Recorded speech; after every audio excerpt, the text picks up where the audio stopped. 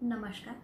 मित्रांनो आजच्या या भागात आपण एकोणावीसशे चौऱ्याऐंशी ते एकोणावीसशे शहाऐंशी या दरम्यान केलेल्या ज्या काही पाच घटना दुरुस्त्या आहेत त्या पाच घटना दुरुस्तींचा अभ्यास आपण आजच्या या भागात करणार आहोत. आपण यापूर्वीच्या भागात एकोणावीसशे एक्कावन्नपासून ते एकोणीसशे चौऱ्याऐंशी पर्यंत करण्यात आलेल्या किती घटना दुरुस्त्या अभ्यासल्या? पन्नास. आणि आज आपण एक्कावन्न बावन्न त्रेपन्न चोपन्न आणि पंचावन्न या पाच घटना दुरुस्त्या ज्या चौऱ्याऐंशी ते शहाऐंशी या दरम्यान करण्यात आलेल्या आहेत त्याचा अभ्यास आपण करणार आहोत. आता आपण एकोणावीसशे चौऱ्याऐंशी मध्ये करण्यात आलेली जी पहिली म्हणजे एक्कावन्नावी घटना दुरुस्ती आजच्या भागातली पहिली घटना दुरुस्ती अभ्यासणार आता एक्कावन्नावी घटना दुरुस्ती ही कशाच्या संदर्भात आहे? तर मित्रांनो ही जी घटना दुरुस्ती आहे ही राज्यातील राखीव जागेच्या संदर्भात आहे. कशाच्या संदर्भात? राखीव जागेच्या संदर्भात. राज्यातील आता कोणते राज्य? कारण सगळ्या राज्यातल्या राखीव जागेचा विषय हा नाही आहे हा राज्यातल्या राखीव जागेमध्ये लोकसभा आणि विधानसभेच्या राखीव जागेच्या संदर्भातली ही तरतूद आहे. तर मग आता ही तरतूद करायची म्हटली तर घटनेतलं कलम बदलणं आवश्यक आहे. मग आपल्या भारतामध्ये कलम तीनशे तीसमध्ये या घटना दुरुस्तीने म्हणजे बदल करण्यात आला. आता एक्कावन्नाव्या घटना दुरुस्तीने कलम तीनशे मध्ये बदल करून काय केलंय? की नागालँड अरुणाचल प्रदेश आहे आणि मिझोरम मेघालय या चार. राज्यांच्या विधानसभेने मागणी केलेली होती. कशाच्या संदर्भात? त्यांना अनुसूचित जमातींना केंद्र म्हणजे लोकसभेमध्ये राखीव जागा देण्याच्या संदर्भात. मागणीनुसार लोकसभेमध्ये आरक्षण कुणाला द्यायचं होतं? अनुसूचित जमातींना. या संबंधीची राखीव जागेच्या संदर्भातली तरतूद करण्याच्या संदर्भात कितवी घटना दुरुस्ती आहे? एक्कावन्नवी. कोणत्या कलमात बदल केला? कलम तीनशे तीसमध्ये. अशा प्रकारे एकोणीसशे चौऱ्याऐंशी मध्ये कलम तीनशे तीसमध्ये बदल करून केलेल्या मागणीनुसार लोकसभेमध्ये अनुसूचित जमातींना प्रतिनिधित्व देण्याच्या संदर्भात तरतूद करण्यात आली. याशिवाय याच घटना दुरुस्तीने कलम तीनशे बत्तीसमध्ये पण दुरुस्ती केली आणि कलम तीनशे बत्तीसमध्ये काय दुरुस्ती केली? नागालँड आणि मेघालय. म्हणजे इथे नागालँड आणि मेघालय हे दोनच राज्य आहे या दोन राज्यामध्ये जी विधानसभा आहे या विधानसभेमध्ये ते त्या ठिकाणी काय केलं? अनुसूचित जमातींना आरक्षण देण्याच्या संदर्भातली ही घटना दुरुस्ती. म्हणजे लोकसभेच्या आरक्षणाची तरतूद कलम तीनशे तीसमध्ये आणि कलम तीनशे बत्तीसने दोन राज्यामध्ये विधानसभेच्या आरक्षणाच्या संदर्भामध्ये केलेली ही घटना दुरुस्ती आहे. हे दोन राज्य नागालँड आणि मेघालय. एक्कावन्नव्या घटना दुरुस्तीनुसार एकोणावीसशे चौऱ्याऐंशीमध्ये करण्यात आलेली ही राखीव जागेच्या संदर्भातली घटना दुरुस्ती आहे मित्रांनो. यानंतर आपण पुढची घटना दुरुस्ती कोणती पाहणार? बावन्नावी घटना दुरुस्ती आणि ही बावन्नावी घटना दुरुस्ती केली एकोणावीसशे पंच्याऐंशीमध्ये राजीव गांधींच्या काळामध्ये. आता ही जी एकोणावीसशे पंच्याऐंशी मध्ये जी बावन्नवी घटना दुरुस्ती झाली ना ही कशाच्या संदर्भात नेहमी आपण ऐकतो या पक्षातून त्या पक्षात गेला आणि पक्षामध्ये गेल्यामुळे त्याचं सदस्यत्व रद्द झालं वगैरे. तर ही पक्षांतर बंदी कायदा जो आहे ना याच्या संदर्भातली केलेली ही घटना दुरुस्ती आहे. कितवी? बावन्नावी. अनेकदा याच्यावर प्रश्न विचारले जातात. किंवा नेहमी आपण राजकारणामध्ये ज्या गप्पा ऐकतो त्यामध्ये पक्षांतर बंदीचा कायदा वगैरे ह्या गोष्टी ऐकतात ना ही बावन्नावी घटना दुरुस्ती आहे. हे एकोणावीसशे पंच्याऐंशीमध्ये झाली आता या कायदा करण्याचा उद्देश काय होता हे जर आपण लक्षात घेतला तर मित्रांनो आपल्या भारतामध्ये एखाद्या पक्षाकडनं व्यक्ती निवडून यायची आणि ती दुसऱ्या पक्षात चालल्या जायची. मग आज या पक्षात तर उद्या दुसऱ्या म्हणजे व्यक्तीच्या या पक्षांतरावर बंदी घालण्याच्या उद्देशाने हा पक्षांतर बंदीचा कायदा केव्हा केला? एकोणावीसशे पंच्याऐंशी मध्ये. कितवी घटना दुरुस्ती आहे? बावन्नावी. आता या बावन्नाव्या घटनादुरुस्तीने मग तरतूद करायची म्हटली तर भारतीय राज्यघटनेला कोणत्या कलमात बदल केला किंवा कोणता परिशिष्ट वगैरे याचा विचार आपल्या मनात आल्याशिवाय राहत नाही. तर मित्रांनो आपल्या भारतीय राज्यघटनेला जे दहावं परिशिष्ट आहे ना कारण त्यापूर्वी आठ परिशिष्ट घटनेला सुरुवातीला होती नंतर नववं परिशिष्ट जोडलं आणि दहावं परिशिष्ट जे जोडलं आहे ना हे बावन्नाव्या घटनादुरुस्तीने जोडण्यात म्हणून दहाव्या परिशिष्टामध्ये या पक्षांतर बंदी कायद्याच्या संदर्भातली संपूर्ण नियमावली देण्यात आली. मग आता या संदर्भात जर विचार केला तर आपण बघतो की पक्षांतर बंदीचा कायदा केला म्हणजे नेमकं काय केलं? पक्षांतर बंदीच्या कायद्याचा जर आपण विचार केला तर इथे काही बाबी आपल्याला लक्षात घेणं अत्यंत आवश्यक आहे. आता या पक्षांतर बंदीच्या कायद्यानुसार काय बदल केला? दहाव्या परिशिष्टाला जोडण्यात आला आणि त्यामध्ये काही नियमावली देण्यात आली की कोणत्या व्यक्तीने म्हणजे एखादा पक्ष सोडून दुसऱ्या पक्षात गेली असेल किंवा मग पक्षाचा राजीनामा दिला असेल तर या संदर्भात पक्षांतर बंदीच्या कायद्यानुसार त्याचं सदस्यत्व मग ते लोकसभेचं असेल किंवा विधानसभेचं असेल त्या संदर्भात त्यांना अपात्र ठरवण्याच्या संदर्भातला हा पक्षांतर बंदीचा कायदा आहे. मग आता एखाद्या पक्षाकडून समजा मी निवडून आले. आहे ना? उदाहरणार्थ आपण लक्षात घेतलंय की भारतीय जनता पक्षाकडनं मी निवडून आले. आणि मी नंतर निवडून आल्यावर मी काँग्रेस पक्ष सत्तेवर आहे म्हणून त्यांच्याशी बरोबर काम करायला गेले. म्हणजे एका पक्षातून मी दुसऱ्या पक्षामध्ये प्रवेश केला. तर अशा वेळेस माझं सदस्यत्व म्हणजे मी निवडून कोणत्या पक्षाकडनं आले होते? भारतीय जनता पक्षाकडनं. मी कोणत्या पक्षाबरोबर काम करते? काँग्रेस पक्षाबरोबर. चालेल का? नाही. मग या संदर्भात म्हणजे एखाद्या पक्षाने तुम्हाला तिकीट द्यायचं तुम्हाला निवडून आणायचं आणि निवडून आल्यानंतर तुम्ही दुसऱ्या पक्षात जातात. तर असं जर केलं तर अशा वेळेस त्या पक्षातल्या म्हणजे या पक्षांतर बंदीचा जो कायदा आहे बावन्नमधला म्हणजे बावन्नावी घटना दुरुस्तीच्या संदर्भातला एकोणीसशे पंच्याऐंशीमध्ये करण्यात आलेला. या कायद्यानुसार त्या व्यक्तीचं सदस्यत्व रद्द होणार. म्हणजे मला जे सदस्यत्व समजा मी लोकसभेत निवडून आले तर माझं सदस्यत्व रद्द होणार आहे. दुसरी गोष्ट इथे लक्षात घ्या की मी निवडून आले भारतीय जनता पक्षाकडनं. आणि मला असं वाटलं की नाही आता मला भारतीय जनता पक्षाबरोबर काम नाही करायचं सत्तेमध्ये काँग्रेस पक्ष आहे मी त्यांच्यासोबत काम करणार. मग असं जर वाटेल आणि मग मी भारतीय जनता पक्षाचा राजीनामा देऊन टाकला तरी पण इथे लक्षात घ्या निवडून कोणत्या पक्षाकडनं आले? भारतीय जनता पक्षाकडनं. तिकीट मला कुणी दिलं? भारतीय जनता पक्षाने. केवळ मी त्या पक्षाचा राजीनामा सत्तेवर आल्यानंतर देते. म्हणजे मी आमदार झाले किंवा मी खासदार झाले आणि मग मी राजीनामा देत असेल तरी पण माझं तिकीट त्या ठिकाणी म्हणजे माझं सदस्यत्व रद्द होणार. अशा प्रकारची तरतूद या बावन्नाव्या घटना दुरुस्तीने करण्यात आली. त्यानंतर आता तिसरा भाग काय केला?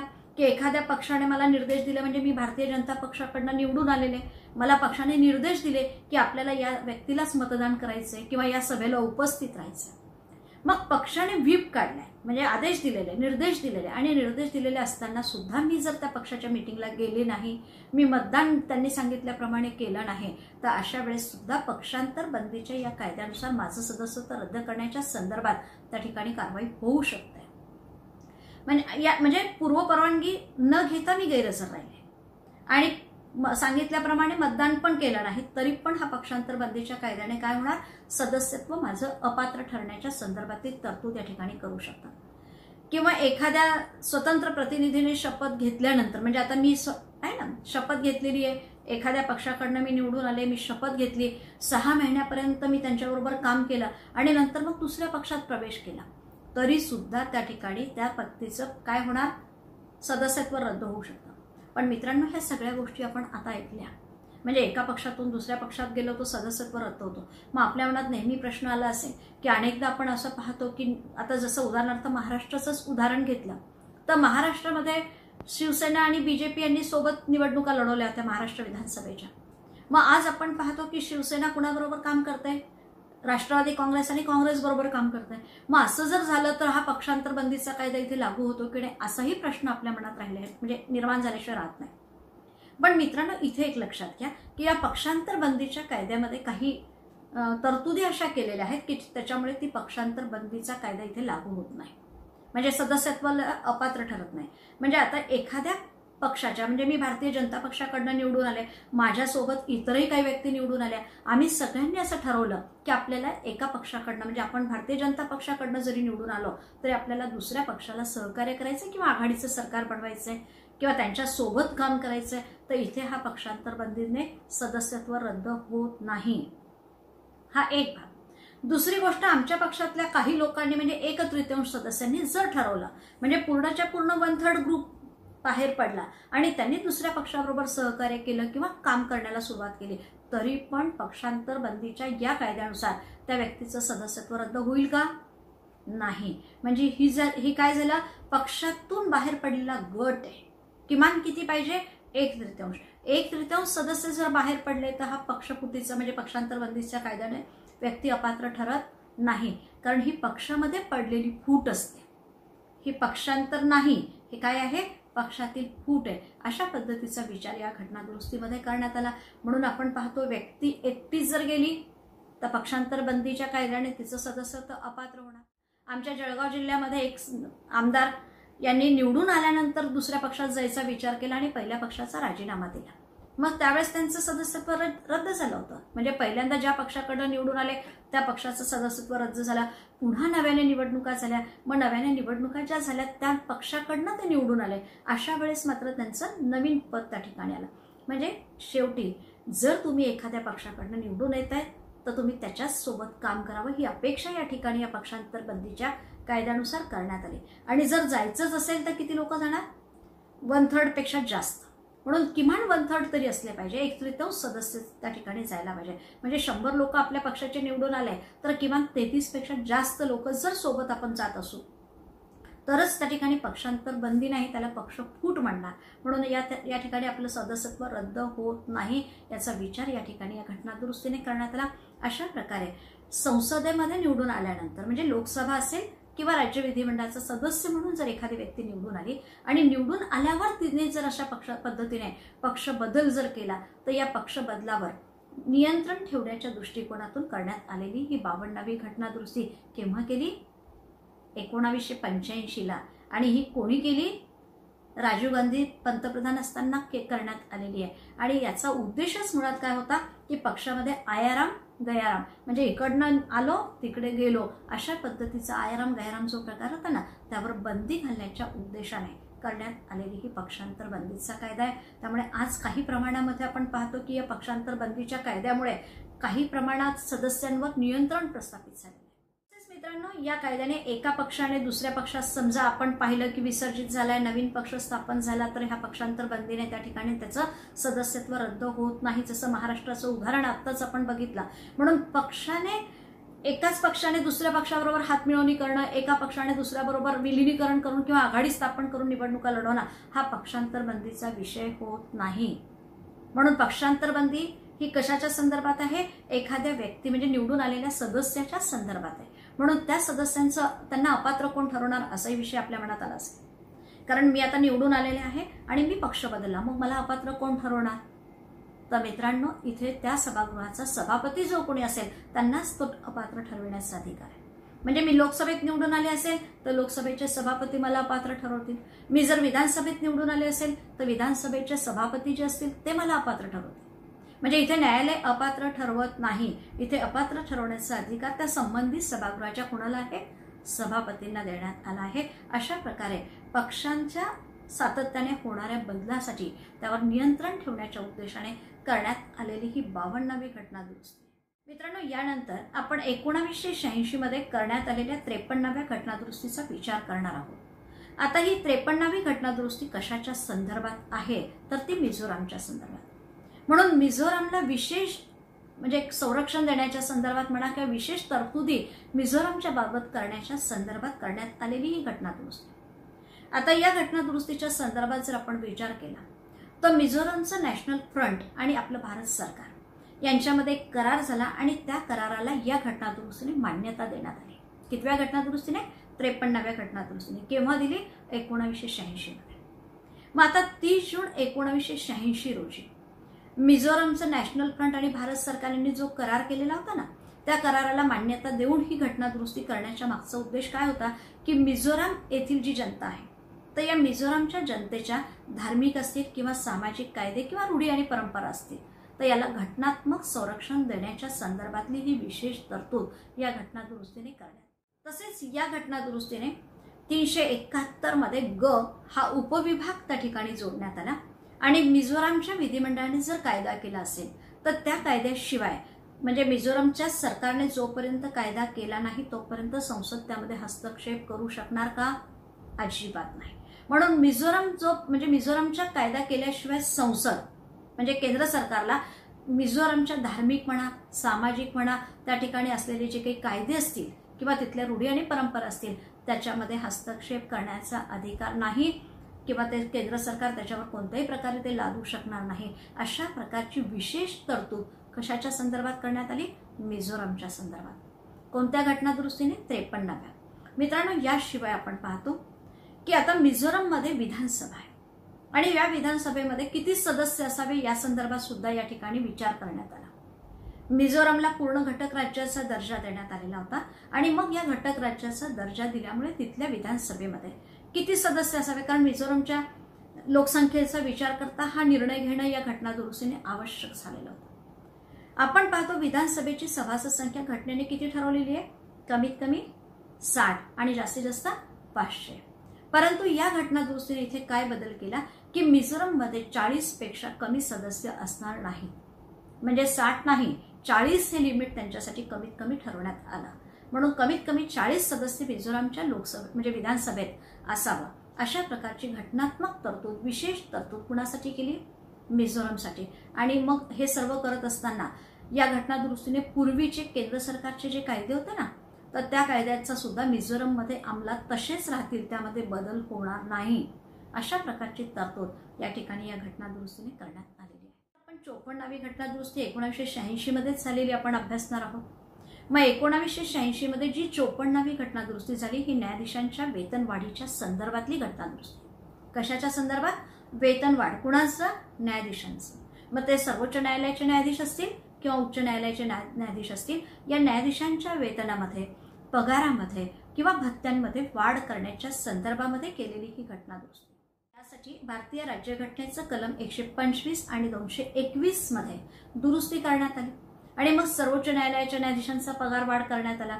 इतर न्यायाधीशांच्या पगारात वाढ केली. त्याचप्रमाणे उच्च न्यायालयाचे न्यायाधीश मुख्य असेल किंवा इतर असतील यांच्याही पगारामध्ये वाढ करण्यात आली. मग ही वाढ किती करण्यात आली किंवा कोण कशा पद्धतीचं वेतन या चोपन्नाव्या घटनादुरुस्तीने ठरवण्यात आलेला आहे याचा विचार आपण जर केला तर मित्रांनो एकोणावीसशे शहाऐंशीमध्ये या चोपन्नाव्या घटनादुरुस्तीने सर्वोच्च न्यायालयाचे जे सरन्यायाधीश आहे ना त्यांचं वेतन किती ठरवलं माहिती आहे दहा हजार रुपये दरमहा म्हणजे दरमहा दहा हजार रुपये वेतन. आणि याशिवाय इतर वेतन भत्ते वगैरे सवलती असतील. आणि इतर न्यायाधीशांचं वेतन मात्र नऊ हजार रुपये ठरवण्यात आलं. म्हणजे मुख्य न्यायाधीशांना दहा इतर न्यायाधीशांना नऊ. मग आता इतर न्यायाधीशांना जे वेतन असतं तेच उच्च न्यायालयाच्या सरन्यायाधीशांचं असतं. म्हणून उच्च न्यायालयाच्या सरन्यायाधीशाचं वेतन किती ठरलं? नऊ हजार रुपये प्रतिमहा आणि इतर न्यायाधीशांना त्याच्यापेक्षा एक हजाराने कमी म्हणजे आठ हजार रुपये प्रतिमहा वेतन देण्याच्या संदर्भातली ही कितवी घटना दुरुस्ती आहे? चोपन्नावी. केव्हा झाली? एकोणावीसशे शहाऐंशी मध्ये. आणि याप्रमाणे मुख्य न्यायाधीशांचे किंवा इतर न्यायाधीशांचे मग ते सर्वोच्च असेल किंवा उच्च न्यायालयातील न्यायाधीश असतील यांचं वेतन पगार भत्ते या संदर्भातली ही घटना दुरुस्ती करण्यात आली. दुरुस्ती करण्यासाठी भारतीय राज्यघटनेच्या दुसऱ्या परिशिष्टामध्ये सुद्धा बदल करण्यात आला. आणि यानंतर मात्र जर वेतन किंवा पगार वाढवण्याच्या संदर्भामध्ये काही घटनात्मक तरतुदी करायच्या असतील तर संसदेला तो अधिकार देण्यात आला आणि संसद साध्या बहुमताने ही घटना दुरुस्ती करू शकेल अशा प्रकारची तरतूद या चोपन्नाव्या घटना दुरुस्तीने एकोणावीसशे शहाऐंशी मध्ये न्यायाधीशांच्या वेतनवाढीच्या संदर्भामध्ये करण्यात आलेली आहे. मित्रांनो एकोणावीसशे शहाऐंशी मध्ये करण्यात आलेली पंचावन्नावी घटना दुरुस्ती यानंतर आपण अभ्यासणार आहोत.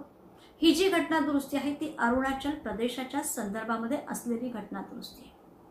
आता अरुणाचल प्रदेशाच्या संदर्भात ही जी घटना दुरुस्ती आहे त्याचा उद्देशच मुळात तुमच्या लक्षात आला असेल की अरुणाचल प्रदेश आज सध्या राज्यामध्ये आहे. म्हणजे त्याला राज्याचा दर्जा प्राप्त झाला. पूर्वी तो केंद्रशासित प्रदेश होता याचा विचार आपण मागील काही घटना दुरुस्तींमध्ये केलेला आहे. मग अरुणाचल प्रदेशला केंद्रशासित प्रदेशातून राज्याचा दर्जा देण्याच्या संदर्भातली ही पंचावन्नावी घटना दुरुस्ती मग या घटना दुरुस्तीसाठी घटनेचं तीनशे एकाहत्तराव्या ह्या नवीन कलमाचा समावेश करण्यात आलेला आहे घटनेमध्ये. मग अरुणाचल प्रदेशाची भौगोलिक स्थिती आहे. मग अंतर्गत जी परिस्थिती आहे ही विचारात घेऊन तिथल्या राज्यपालांना विशेष अधिकार देण्याच्या संदर्भात सुद्धा या ठिकाणी विचार केला गेला. मग आता मंत्रिमंडळाचा एखादा निर्णय असेल आणि त्या निर्णयानंतर राज्यपालांना आपलं मत मांडण्याचा म्हणजे लक्षात घ्या की एखाद्या मंत्रिमंडळाने म्हणजे अरुणाचल प्रदेशामध्ये मंत्रिमंडळाने एखादा निर्णय घेतल्यानंतर तिथे राज्यपाल आपलं मत मांडू शकतात. म्हणून राज्यपालांना आपलं मत मांडण्याचा किंवा मग राष्ट्रपतींचे आदेश असतील त्या आदेशांच्या निर्णयाप्रमाणे निर्णय घेण्याचा म्हणजे राष्ट्रपतींच्या आदेशाप्रमाणे राज्यपाल निर्णय घेऊ शकतात अशा प्रकारचं स्वातंत्र्य या पंचावन्नव्या घटना दुरुस्तीने अरुणाचल प्रदेशाच्या बाबतीत राज्यपालांना देण्यात आले. या दुरुस्तीने काय केलं आणखी एक लक्षात घ्या. की जेव्हा अरुणाचल प्रदेशला केंद्रशासित प्रदेशातून कशाचा दर्जा दिला? राज्याचा. मग राज्य म्हटलं की तिथे विधानसभा आली. मग विधानसभा तिथे स्थापन करायची असेल तर मग विधानसभेमध्ये किती सदस्य असतील याचाही विचार करणं या घटनादुरुस्तीने अनिवार्य होतं. मग या घटनादुरुस्तीमध्ये विचार करत असताना काय लक्षात घेतलं? की जर आपल्याकडे म्हणजे अरुणाचल प्रदेशमध्ये विधानसभा आपल्याला स्थापन करायची आहे मग किती सदस्य पाहिजे? लोकसंख्या इथे पण कमी होती. मग आता आपण कमीत कमी साठ हा जो घटनेने ठरवलेला आकडा आहे. हा इथे मिझोराम म्हणजे मिझोरामप्रमाणेच अरुणाचल प्रदेशमध्येही शक्य नव्हता. मग अरुणाचल प्रदेशमध्ये विधानसभेच्या सदस्यांच्या संदर्भात जी निश्चितता करण्यात आली ती तीस एवढीच करण्यात आली. म्हणजे इथे आपण पाहतो की विधानसभेची सभासद संख्या कमीत कमी साठ पाहिजे. पण अरुणाचल प्रदेशला राज्याचा दर्जा देताना मात्र इथे त्यांना सवलत देण्यात आली. काही विशेष तरतुदी या संदर्भात करण्यात आल्या. मग यानुसार विधानसभेची तिथली संख्या किती ठरवण्यात आली? कमीत कमी तीस. म्हणजे तीस कमीत कमी असावी अशा प्रकारची तरतूद या ठिकाणी करण्यात आलेली आहे. मित्रांनो अशा प्रकारे आजच्या या भागामध्ये आपण किती घटना दुरुस्ती अभ्यासल्या? पाच. एक्कावन्न बावन्न त्रेपन्न चोपन्न आणि पंचावन्न. अशा प्रकारच्या या पाच घटना दुरुस्तींचा आपण अभ्यास केला. एकावन्नावी घटनादुरुस्ती कशाच्या संदर्भात होती? अरुणाचल प्रदेश आणि नागालँड आणि मिझोराम या चार राज्यांमध्ये अनुसूचित जमातींना आरक्षण देण्याच्या संदर्भात. त्यानंतर नागालँड आणि मेघालयला विधानसभेमध्ये अनुसूचित जमातींना आरक्षण देण्याच्या संदर्भातली ही एक्कावन्नावी घटनादुरुस्ती. बावन्नावी घटनादुरुस्ती एकोणीसशे पंच्याऐंशी पक्षांतर बंदीच्या संदर्भात आपण अभ्यासली. शहाऐंशी मध्ये मिझोरामच्या संदर्भात विशेष तरतूद करून त्या ठिकाणी विधानसभेची सभासद संख्या किती? चाळीस ठरवण्याच्या संदर्भातली ही घटना दुरुस्ती कितवी होती? त्रेपन्नावी नंतर एकोणावीसशे शहाऐंशी मध्ये चोपन्नावी घटना दुरुस्ती सर्वोच्च आणि उच्च न्यायालयाच्या न्यायाधीशांच्या वेतनवाढीच्या संदर्भाचा विचार आपण केला. नंतर एकोणावीसशे शहाऐंशी मध्ये जी पंचावन्नावी घटना दुरुस्ती अरुणाचल प्रदेशला राज्याचा दर्जा देऊन तिथली सभासद संख्या म्हणजे विधानसभेची किती ठरवली? तीस. या संदर्भातल्या या पाच घटना दुरुस्तींचा अभ्यास आपण आजच्या भागात केला. मित्रांनो आपण इथेच थांबूया.